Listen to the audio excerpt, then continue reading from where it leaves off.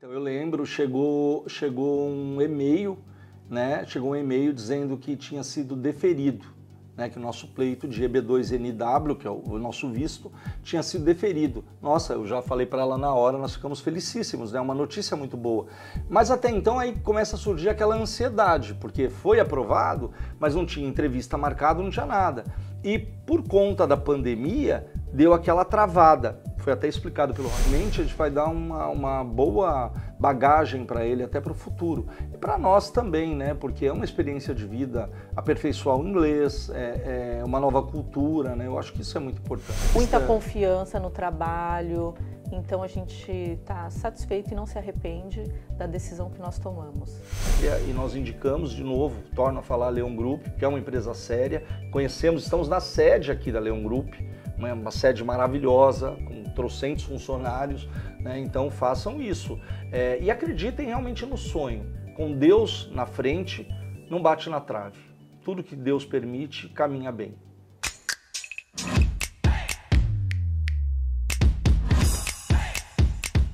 Primeiro que é um desafio, né? Eu tenho vontade de advogar nos Estados Unidos. Eu vou me preparar para poder advogar lá.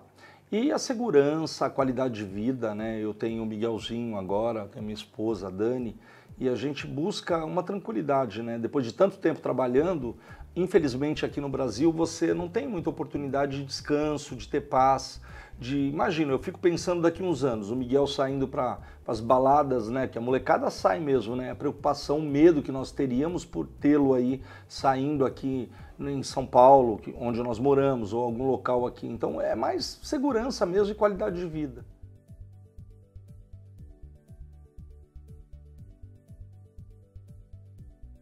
eu acho que a cultura também vai agregar muito, né? Porque são, pelo menos, principalmente para o Miguel, são mais duas línguas novas, né? Além do português.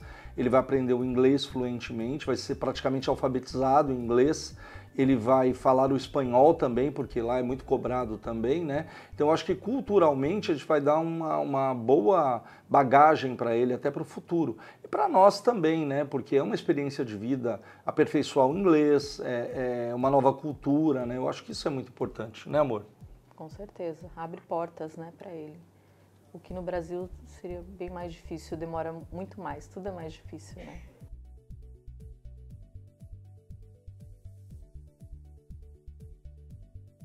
Olha, foi uma decisão assim difícil, mas eu acho que foi muito assertiva, né? Eu venho no momento certo, então, então eu não me arrependo em momento algum, né? E claro, a gente sempre coloca Deus à frente. Já era algo que nós estávamos planejando, porque nada é sem planejamento, né? Então não é por aventura, então tudo tem um Com planejamento. Certeza. E, e sempre buscando informação, e nós né, buscamos a, as melhores é, é, redes sociais aí para estar tá, é, sempre buscando informações e, e, chegamos aqui a Leão Group, né? E aliás estamos e extremamente satisfeitos, sempre, né? Sempre. Nós sempre sempre desde o começo, desde né? o começo, atendimento né? foi fantástico, sabe? Desde o começo. Fantástico. Tive entrevista. Muita confiança no trabalho. Então a gente está satisfeito e não se arrepende da decisão que nós tomamos. Então, é, na verdade, tem nós, na época da pandemia, é, não só nós, como todo mundo, né, nós ficamos assim, é, youtubers, né? Porque nós só assistíamos televisão, né? E nós não gostamos muito de programação aberta, normal. Então começamos a ver muito vídeos dos Estados Unidos mesmo.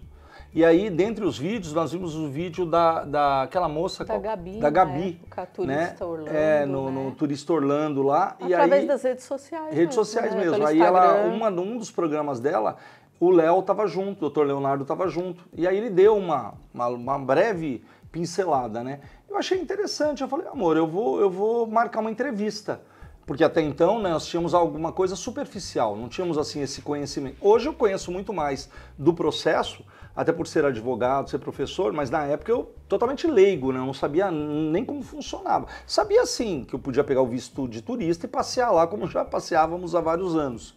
E aí nós marcamos uma entrevista com ele mesmo, ele mesmo me atendeu e foi. assim foi muito interessante que eu lembro que ele ficou empolgado. Ele falou assim: "Olha, você tem assim uma probabilidade muito grande de sucesso.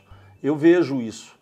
Aí você fica naquelas, porque até então eu não conhecia, né? Será que não é papo para poder te captar, te angariar? Mas pela segurança que ele me passou, pelo, pelo diálogo que nós tivemos, eu vi que não era uma arapuca, era uma coisa séria, era uma empresa séria, era uma empresa que realmente valia a pena investir. E a partir daí, foi só o passo a passo, né? Aí foi muito tranquilo. E sempre orientado, sabe? A, Fernanda, o Rafael, a equipe inteira sempre nos auxiliando assim de forma direta. Foi muito bom, muito bom mesmo, né, amor?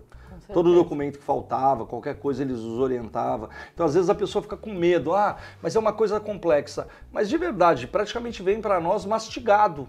É, é, é, assim, até para angariar os documentos, nós temos uma direção. Esse direcionamento facilita muito, né, para fazer.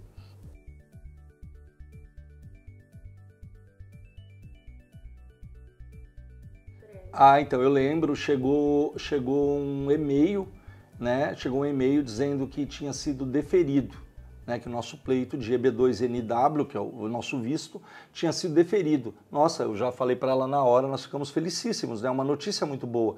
Mas até então aí começa a surgir aquela ansiedade, porque foi aprovado, mas não tinha entrevista marcada, não tinha nada. E por conta da pandemia, deu aquela travada. Foi até explicado pelo Rafael, pela Fernanda, que estava meio travadinho por conta da pandemia. E nós continuamos a vida normal. Quando sabíamos que tava, estava aprovado, eu até cheguei a ligar para o Rafa e falei, Rafa, mas não tem perigo? Ele falou, não, não, Nilton, fica tranquilo. Depois que está aprovado, é só mesmo os procedimentos mesmo do consulado. Falei, então tá bom. Continuamos seguindo a vida normalmente, trabalhando, fazendo as atividades, até que veio o e-mail, aí sim, nos convocando para o CASV, né, que era a parte de biometria, e no dia seguinte para a entrevista, para mim e para ela. Então foi, foi mais ou menos assim. Eu achei até que fosse demorar mais, né? Tava tranquilo, ah, vai demorar. Vai Ela demorar, achou que fosse demorar e, mais. E eu achei que é. andou super rápido. Aí foi rápido, é. acabou sendo rápido. Depois que destravou, depois é. da pandemia que destravou, aí o negócio caminhou bem. Foi caminhou super rápido. rápido. O meu inicialmente, né, eu pretendo trabalhar com envios, então eu vou abrir uma empresa de envios de mercadoria e o Newton vai seguir no ramo mesmo dele na advocacia, né? Aí ele é. pode falar melhor. Ela não é porque é minha esposa não, mas ela tem extremo bom gosto. Então ela tem aquela facilidade é, já de ver o negócio. do ramo do comércio, né? Então porque ela já é comerciante, já tem comércio. lojas, né? Então uhum. ela quer continuar na área dela. Eu até incentivo porque eu acho que ela vai estar bem. Ela vai estar bem porque é uma coisa que ela gosta. Como eu, eu, eu amo advogar e amo dar aulas. Então não adianta eu tentar fazer outra coisa que não vou ser eu. Então eu quero continuar na área do direito, aí o direito internacional, talvez também, quem sabe, no futuro esteja auxiliando aí de alguma forma na imigração também. Enfim, não é uma coisa que eu não descarto não, mas eu quero advogar. Minha ideia é advogar mesmo. Quero fazer um PhD lá, se Deus quiser, e advogar.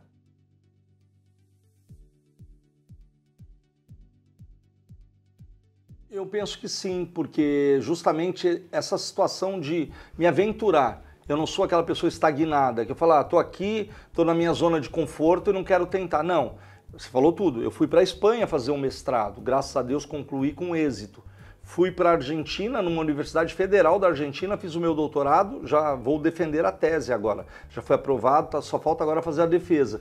Então, essa quebra de fronteiras me deu coragem também para tentar uma nova oportunidade aí nos Estados Unidos. E eu sei que os Estados Unidos também é um país de oportunidades. Eu tenho estudado, tenho lido bastante, é aperfeiçoar o inglês para justamente poder estar lá ajudando também os Estados Unidos, porque eu acho um desaforo você ir morar num outro país e não falar sequer a língua do país. Você tem que sabe sim, envolver mesmo, fazer uma imersão cultural. Porque, poxa, eles estão abrindo as portas para nós. O mínimo que nós temos que fazer é ser úteis para os Estados Unidos. E ela pensa da mesma forma. Por isso que ela vai desenvolver uma atividade também, é, porque a nossa ideia é essa. E foi sim, foi um marco, né? Essas vidas para o exterior, para me aperfeiçoar, acabou sendo um alicerce para o que vem agora, vamos colocar assim.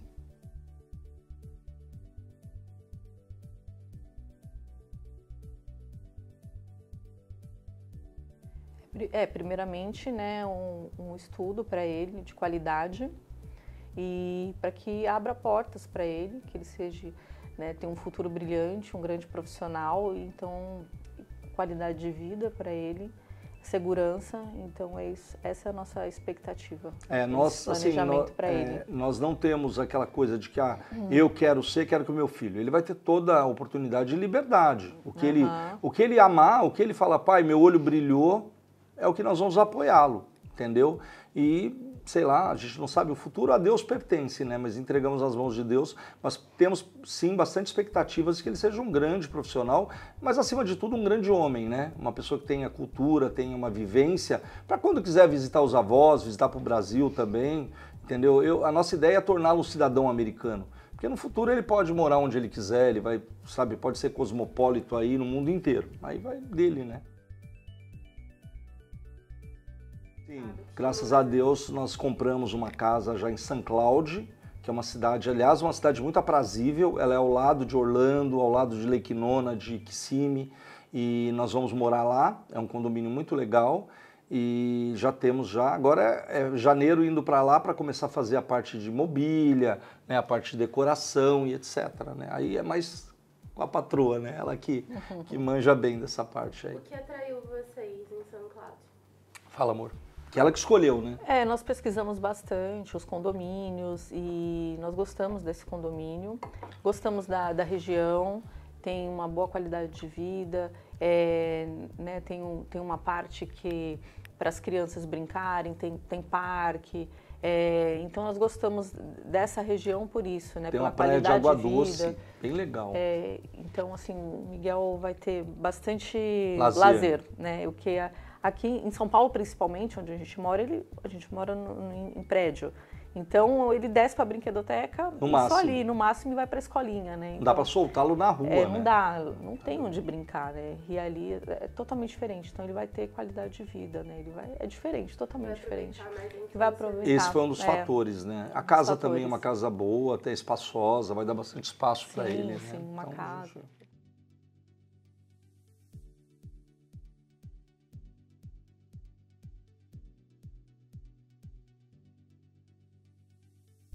Ah, nós, é, graças a Deus, ele tem avó e avô por parte de mãe. Então, os pais dela são jovens, se Deus quiser, viverão bastante tempo. Então, ele tem um contato, eles amam o Miguel, o Miguel os ama também. Meu pai e minha mãe, infelizmente, já faleceram. Mas a ideia é, no mínimo, uma vez por ano, vir para cá, né, dar uma passeada, trazer o, o netinho para ver os avós. E eles também na mão inversa, eles vão bastante para lá. Nós queremos estabilizar para eles que eles possam viajar sempre para lá. E com a comunidade brasileira, o contato vai continuar, né? Porque hoje, com as mídias sociais, o mundo está muito globalizado, né? Hoje você consegue falar com as pessoas de qualquer lugar do mundo. Então eu tenho negócios aqui, ela tem negócios aqui, ela vai manter um dos negócios dela, um dos comércios dela aqui no Brasil. É, então nós vamos ter um contato estreito. Não, claro, de vir para cá diariamente, mas pelo menos de ter um contato maior. A ideia não é perder o contato. Em relação à comunidade brasileira lá nos Estados Unidos, nós não temos nenhum tipo de preconceito, mas nós vamos procurar nos misturar mais com a comunidade americana mesmo. A ideia é realmente criar uma cultura americana para não ficar viciado, porque se você fica é, só com a comunidade brasileira, você não aprende o inglês fluente, você tem uma série de dificuldades, quer ficar cômodo.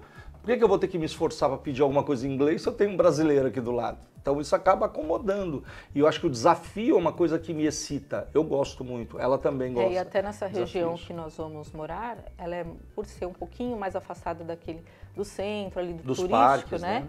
Então tem muito americano né, nesse, nesse, condomínio, não tem tanto brasileiro. Só do Na norte está vindo tudo para lá. Né? É. Então a gente não vai ter tanto contato assim com o brasileiro, né? Então, mas não é preconceito. não é preconceito, mas é vai nos forçar realmente mesmo.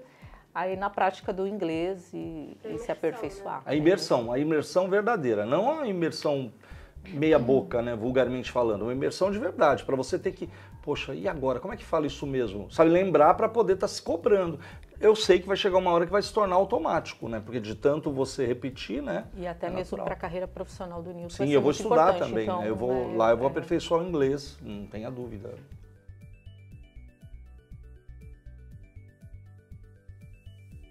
Na verdade, a gente não está abrindo mão de todos os negócios porque a gente precisa de manter algumas coisas aqui, né?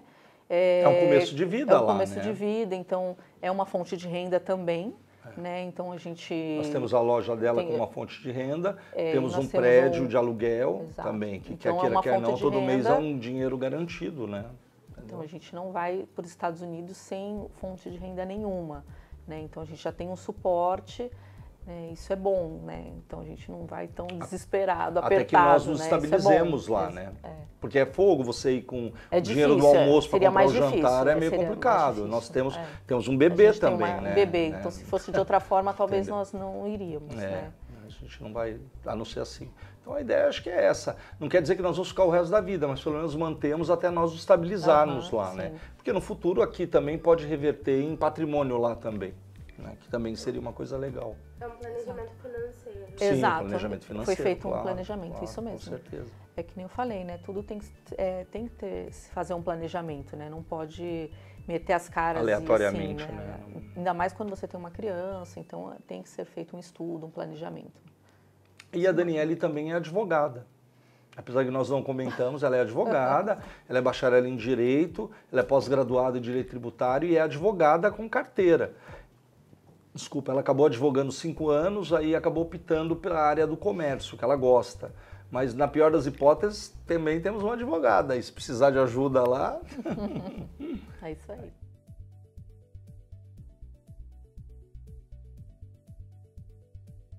Olha, eh, primeiro faça um planejamento, faça um estudo, pesquise, né? É, não vá assim né, de forma aleatória. Né? Primeiro busque informação e se tem um sonho, busque informação sim que vai dar certo, sempre dá certo. Se você tiver um foco e determinação, vai dar certo. Então eu apoio sim o seu sonho. Se a pessoa tem um sonho de ir, se ela buscar correr atrás e se informar, vai dar certo. E, e até é, corroborando o que ela falou, ontem eu estava assistindo a live e o irmão do Dr. Leonardo, me fugiu o nome dele agora, o Guto. O Guto, ele falou uma coisa muito importante não existe almoço gratuito. Não acreditem em falsas promessas. Olha, eu não estou ganhando nada da Leão, falo isso de coração. Pelo contrário, paguei tudo certinho que foi preciso, mas eu sou obrigado e, e, de coração a dar esse conselho, porque a empresa é séria. Porque tem muitas empresas aí falando que é 99% de garantido, que devolve dinheiro. Cuidado, tá cheio de arapuca e de empresas Sim, que verdade. pegam dinheiro. Olha, nós tentamos, mas não deu certo. Mas até aí o seu dinheiro já foi. Então acredite no trabalho honesto, no trabalho sério. Nós indicamos a Leão porque a Leão é séria. O trabalho é sério, não é um trabalho de enganar. Nós nunca fomos iludidos, pelo contrário. Todas as vezes foi muito claro, olha, tenho tempo para cada etapa e nós estamos cumprindo. Tanto que estamos agora no Rio de Janeiro para cumprir a última etapa, porque quando nós iniciamos o nosso pleito, o Miguelzinho não era nascido. Né? A Dani não estava nem grávida, por isso que nós, nossos green card foram aprovados e agora estamos só aplicando para o Miguel. Então, nosso conselho, assim, se é que nós podemos dar um conselho, é que realmente pesquisem, vejam uma empresa séria e nós indicamos de novo, torno a falar Leão Group, que é uma empresa séria. Conhecemos, estamos na sede aqui da Leão Group, uma, uma sede maravilhosa, com trocentos funcionários, né? então façam isso.